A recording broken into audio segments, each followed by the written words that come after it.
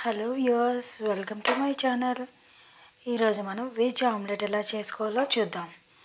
So దీనికి కావాల్సింది శనగపిండి సన్నగా తరిగి పెట్టుకున్న ఉల్లిపాయలు పచ్చిమిర్చి కొత్తిమీర కరివేపాకు మూడు కలిపి సన్నగా తరిగి పెట్టుకున్న జీలకర్ర మసాలా పౌడర్. ఇది గరం మసాలా పౌడర్ అండి.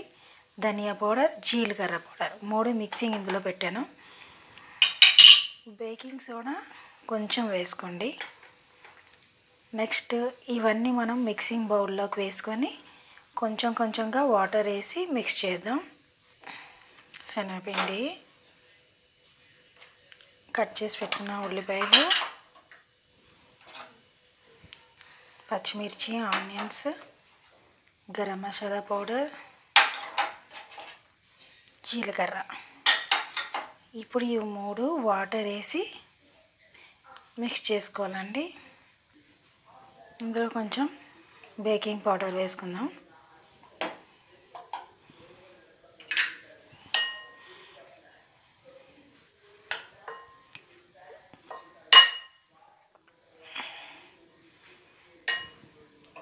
కొంచెం కొంచెం వాటర్ వేసుకుంటూ దీన్ని కలపాలి. దోశ బ్యాటర్ లాగా కలపండి.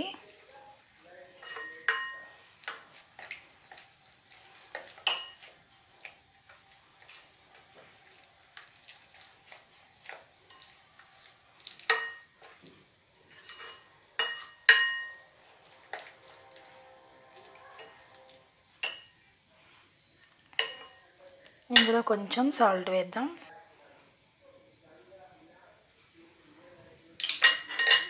నేను ఇందులో కారం వేయట్లేదండి. ఎందుకంటే ఆల్రెడీ పచ్చిమిర్చి బాగా వేసుకున్నాం కదా ఆ కారం సరిపోద్ది. ఇది మార్నింగ్ టిఫిన్స్కి కానీ పిల్లలకి లంచ్ బాక్స్కి కానీ బాగుంటుంది. సాంబార్లోకి సైడ్ డిష్గా కూడా బాగుంటుందండి ఇది. ఇప్పుడు దీన్ని ఆమ్లెట్స్ లాగా వేసుకుందాం. ముందుగా పాన్ పెట్టుకొని ఆయిల్ వేసుకొని హీట్ చేసుకుందాం. హీట్ అయిన తర్వాత దీని మీద వేసుకుందామండి. శనగపిండి అట్టు.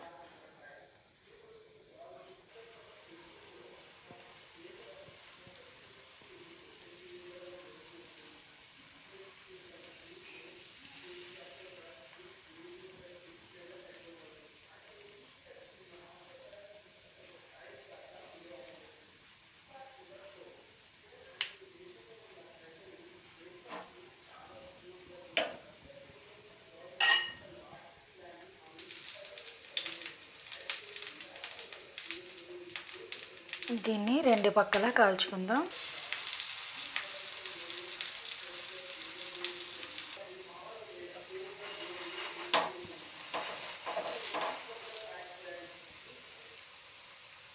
ఇది అయిపోయింది. దీన్ని సర్వింగ్ ప్లేట్లోకి తీసుకుందాం.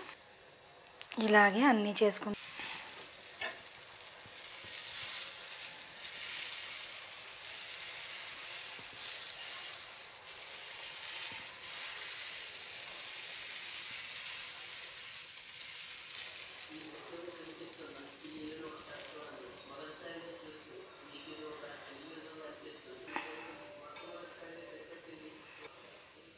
ఇది కూడా అయిపోయింది.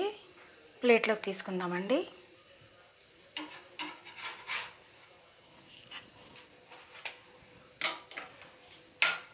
అంతేనండి వెజ్ ఆమ్లెట్ రెడీ.